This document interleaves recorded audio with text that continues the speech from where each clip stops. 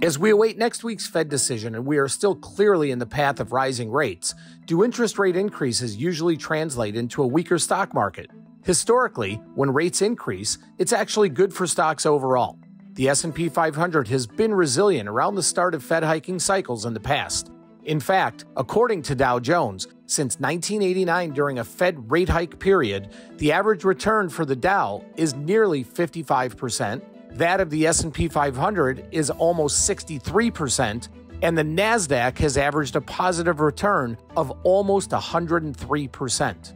So how may investors navigate the impending rising rate environment? Well, historically, highly profitable, well capitalized firms perform best when financial conditions tighten. The start of Fed hiking cycles tends to coincide with a strong economy, which can help to lift cyclical sectors such as materials, industrials, and energy. When rates rise, investors may typically see more value in bonds, CDs, and other assets thought to be less risky than stocks. However, history paints a different picture.